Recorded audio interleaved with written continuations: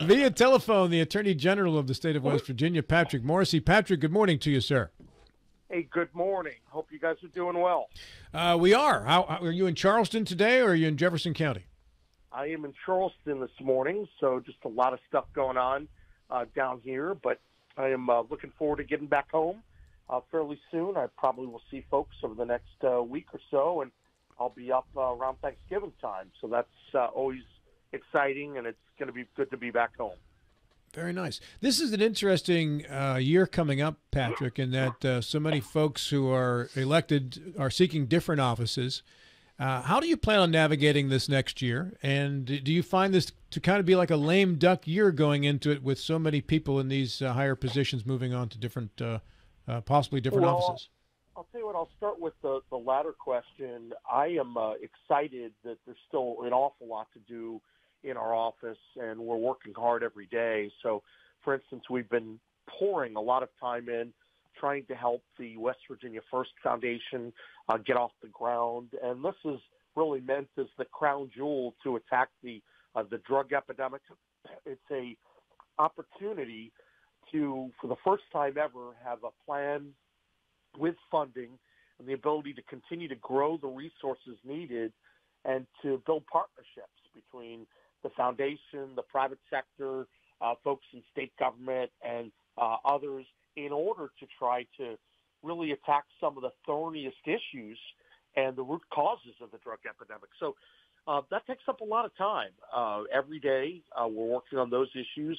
We're working on uh, challenging matters to protect our jobs here in the Mountain States, obviously enforcing uh, many of the laws uh, across the state. So I, I look at it and I think, well, there's still a lot of work to be done in terms of the uh, the mix between the campaign and the uh, the day job.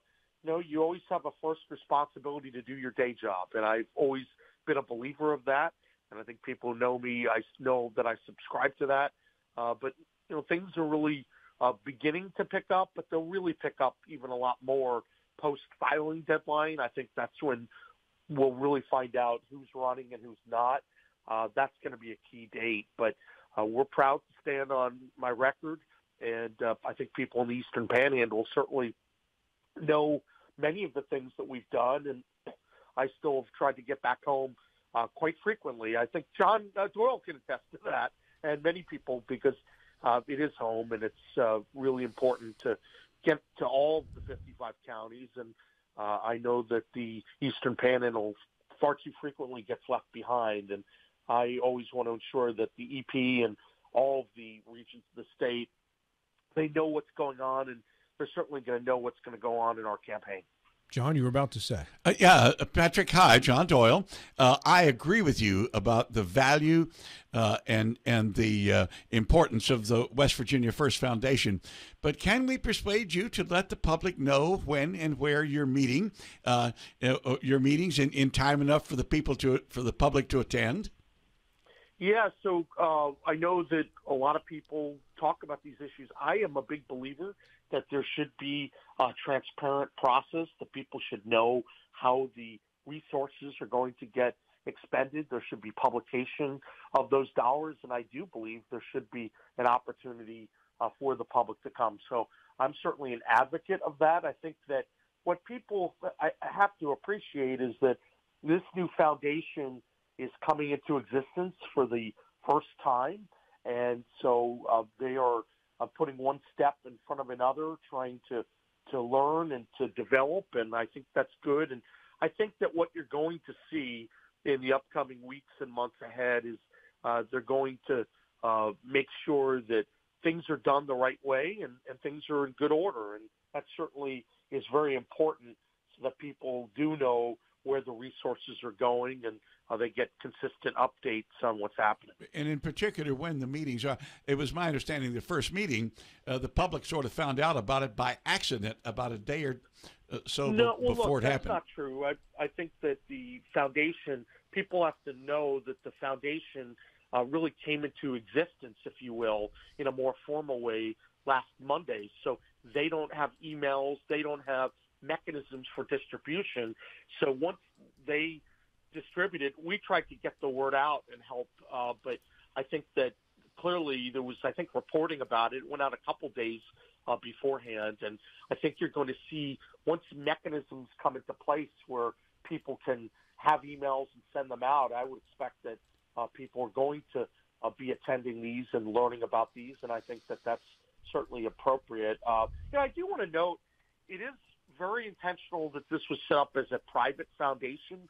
So I do believe strongly in the transparency, but it's also important that it's given some of the tools to not just operate like a lot of state entities and government. And, and that's important because you want transparency, you want to make sure that you're doing the right thing, but also we made a conscious decision to not hand that to one of the state agencies because, quite frankly, there was deep concern about the state's ability to manage it. Uh, it's always had a very tricky record with respect to using some of the resources, and uh, this is something that every county blessed, Jefferson, Berkeley, Morgan, every legislator blessed, the governor blessed, and I think it's important for people to know that giving a little bit more flexibility sometimes to these groups to manage themselves is a really important thing so that you can solve problems. I'm not one of those who believe that government can solve every single problem, and it's important to have uh, limited government, and that needs to work.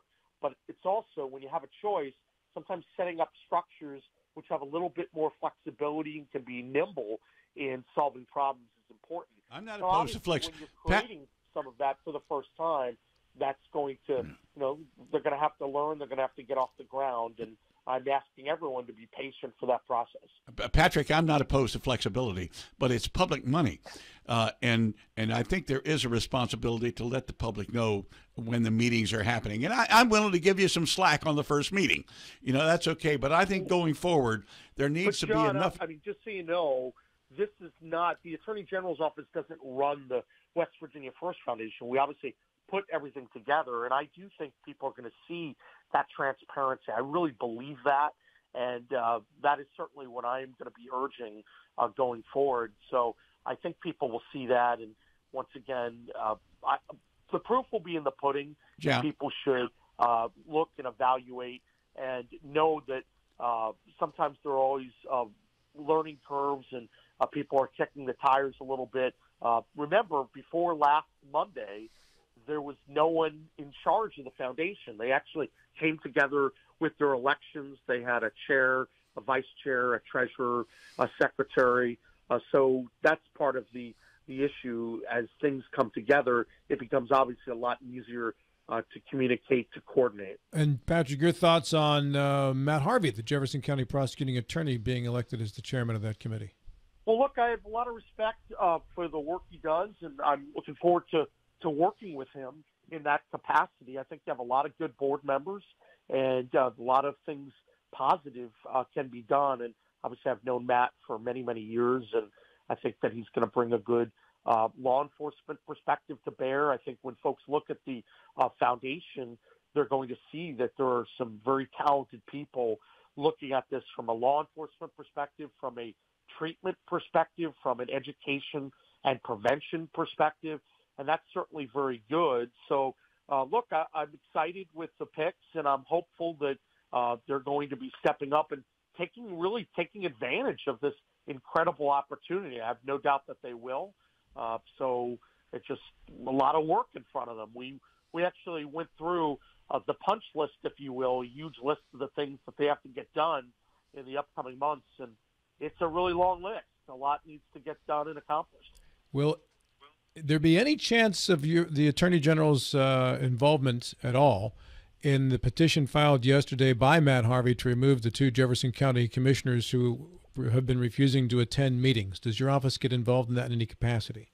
You know, uh, we always look at those issues, so it's premature to say whether we will. We're obviously going to, to study all those issues, and uh, certainly as a resident of Jefferson County, I, you know, I'm a believer that uh, things have to be handled uh, correctly. So we're going to take a close look at that.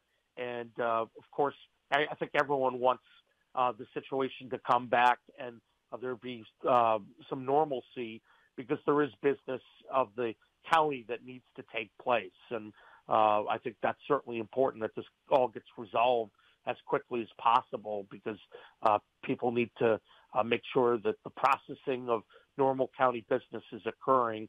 So uh, we're going to look at that and evaluate that, and and then as the days and weeks go by, we'd be happy to let you know further uh, whether we think that's warranted. Hey, Patrick, this is John Gilstrap. Good morning. Um, in the last, hey, good morning, John. The last, I don't know, four or five years have seen an extraordinary large spigot of free money uh, coming at West Virginia. We we had the the um, pandemic money, and then the opioid settlement money, and then Senator Manchin approved the Green New Deal or the the Inflation Reduction Act, which brought billions of dollars into West Virginia. So here we are, kind of riding this wave of I won't call it unearned, but for lack of a better term, we, we use that.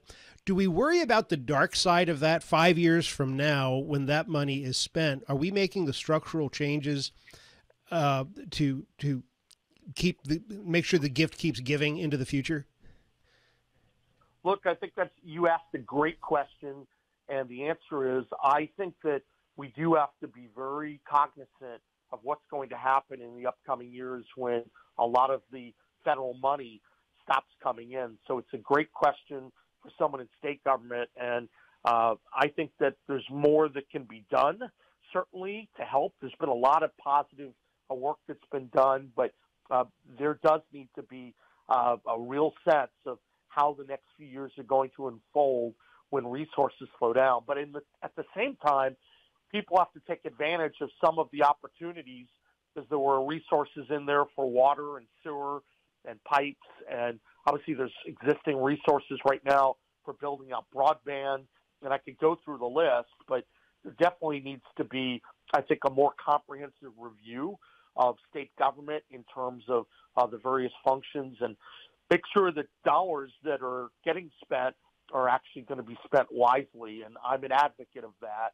Uh, so I, I do think you're going to see that, and we have to always be asking the question about priorities because taxpayers deserve that. Taxpayers always deserve uh, to have a government that's that's working effectively, but at the same time, in my mind, uh, we want to have small government, limited government, uh, and I think that to get to that point, you have to constantly keep asking questions, and you have to make sure that you really know you can get into the bowels of these agencies and programs and be able to solve problems and be very uh, mindful that it is taxpayers' money. And uh, I think people know I have that record as the state attorney general. We've been very uh, frugal with how we've spent resources, and we've been very effective with that. And I do think you want to consistently challenge every agency uh, to do more with less. Well, for good or ill, if you if you win the election, that's all going to be on your desk. It feels like that's all stuff that's going to be um, unfolding over the course of the next four or five years. Well, that, that's right, and that's quite frankly shifting a little bit on the on the campaign. I think you want someone in the office who actually has worked in a lot and represented a lot of the agencies and has that knowledge and experience and who can come in and in that first hundred days start to really dig down and begin working with the legislature and make some of the changes that are going to be needed. And I'm uh, I'm a big advocate of that. And you don't do that by just walking in off the street without knowledge of uh, what's occurring. So I'm excited about that opportunity. I think I'm ready for that challenge after serving as the state's attorney general uh, for the past three terms. Yeah, Patrick. One of this is John Doyle again. Uh, one of your opponents uh, disagrees with you on that. Uh, Chris Miller is saying that it's best to have some captain of industry that walks in off the street and takes over the reins of government. Look, I would say this: there are a lot of uh, fine, well-intentioned people that are running, and I think people have noticed that I've tried to talk more about my strong record of experience of getting really big things done for the state of West Virginia. And obviously, these other folks don't have the same record. And I, I appreciate they're going to try to do anything to accentuate uh, what they think are the positives for them. And so I'm not going to kind of take the bait and, and talk much about my opponents. I, I really believe right now we have to talk about my record and the vision of what we're going to do to help West Virginia reach her potential. But I, I don't think we need someone. Uh, we have to make sure that whoever we elect is not going to take a year to find out where the bathroom's located, right? I mean, that's that's important. It's critical that we get the right people in place, and I think you need someone who's on day one able to take on the federal leviathan. A lot of the jobs right now in West Virginia do get threatened by what's going on in Washington D.C., and we know about that. I've been involved in litigation, successful litigation, to protect our jobs. I mean, I just can't see some of these folks um, having the same ability uh, to push back against that because this is not something that you just inherit. It takes years of good experience to push back and win against the federal agencies and a lot of the crazy ideas out there.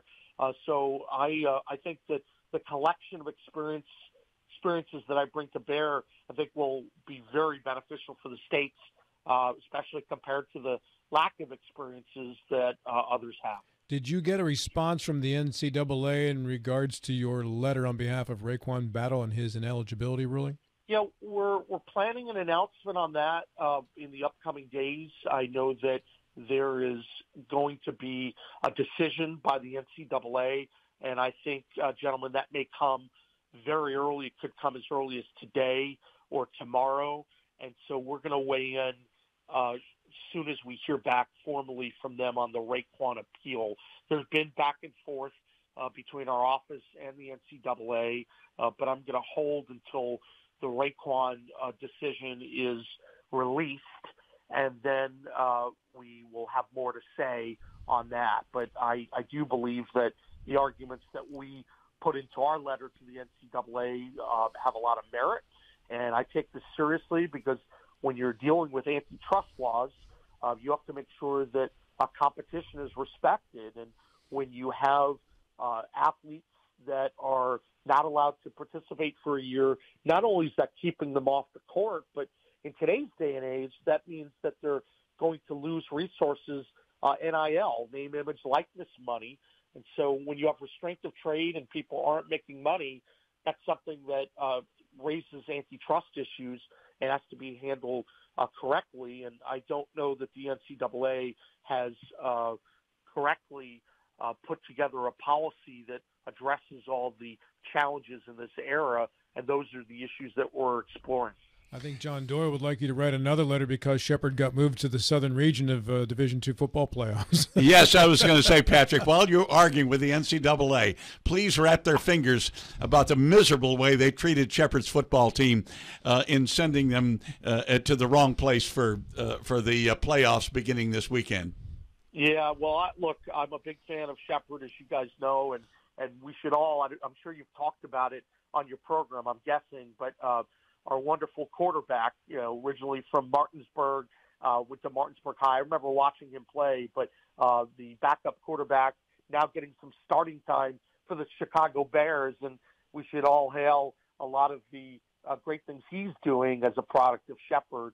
Uh, and Bagent is uh, just terrific. Uh, we're excited about that Shepherd product being in the NFL. Shepherd is the defending regional champion in Super Region 1, and they sent them to Super Region 2. They're not even going to let them defend their title. They could wind up in Mississippi for a playoff game. Hey, Patrick, let's stay on the sports theme real quickly, too, because you uh, also are looking at Major League Baseball's antitrust exemption. And uh, this is something that the way they did major minor league baseball around this country has me annoyed because – uh, these folks went around shaking down cities to build stadiums for them to have minor league teams, and then the MLB pulls the rug out of so many of these teams that had gotten taxpayer dollars to build or upgrade or refurbish stadiums to keep or attract these teams.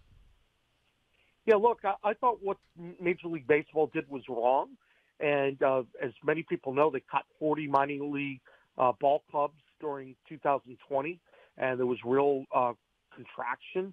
And obviously, there are uh, clubs in in West Virginia that are impacted, and uh, we know that uh, I think in October uh, the Princeton Whistle Pigs uh, that was announced that this would be their last season, and so whenever once again you're dealing with uh, these organizations who are restraining competition, and you're right after taxpayer dollars are sometimes uh, put in, that raises issues and we had looked and, and determined that Major League Baseball had been relying on a century old antitrust exemption, and uh, we have asked the U.S. Supreme Court to review it.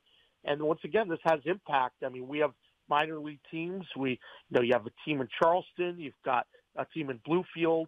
I mentioned Princeton, uh, team in Morgantown. I mean, there's there's a lot going on, and these are really popular uh, all across uh, West Virginia. And we have to make sure that the antitrust laws are upheld. So we are asking for the High Court to remove the uh, baseball antitrust exemption. And there are 17 states that are on this brief, and we don't think that this uh, court-ordered system uh, should remain in effect. And uh, why should they have this uh, monopoly to do it? And I think this will be an interesting case, and we'll see what the court does. Yeah, Patrick, I agree with you on that. That stadium in Charleston was built almost entirely with state money. And the idea was to keep a minor league baseball team there, and MLB took it away because they were they didn't want to have to pay more than the minimum wage they were paying in minor league baseball. Yeah, that was their reaction right. to being forced to pay better. It was to just start to stripping right. clubs. It was ridiculous. Yeah. Um, John, final question goes to you. Gilstrap, that is. long-term listeners know that sports ball is my life. Um, yeah, it's, it's, round. That's all I know. Um, I want to switch back just real quick to politics and the how big a, a, danger do you think the the growth of the so-called Freedom Caucus, the push farther and farther to the right for Republicans in the state house, uh, how how big a danger does that pose to alienating moderate Republicans and actually endangering the supermajority? Think that there are a lot of people. The Republican Party um, has a big tent, and there are a lot of different perspectives that are within it. I mean, you look at West Virginia. There's a supermajority of Republicans now, and there is a diverse array of of people and talent uh, within the caucus. Uh, if you try to uh, identify where 88 people are ideologically and say that makes up our supermajority, you can have people that some are going to be more conservative than others. You know, I'm a conservative. I'm, I've always uh, talked about that. I, I believe in limited government. I believe in respect for the Constitution, our Bill of Rights, and our freedoms. And uh, I know that there are always going to be people that are uh, going to come together under different umbrellas. And I, I think that we should always welcome uh, people coming out into the uh, debate of ideas to talk about where they stand, what's going on, and so I, I think that those are all positive things. And we should try, though, to remember that the object is to make sure that we're standing on principle, yet we're also uh, charged, we have duties to be able to uh, get things done and accomplish things for the people uh, of our state and our country. So I think that, uh, you know, I, I like having the diversity of perspective and uh, I like having uh, conservative voices uh, advocating for the right policies. So, uh, but I, I know that there's always effort to be pejorative against different groups, and I think we, we want to just allow the debate of ideas to occur uh, rather than you know try to attack people uh, because they join a group or they're labeled as something rather than something else. Patrick, I know you have to get going, so final thought is yours.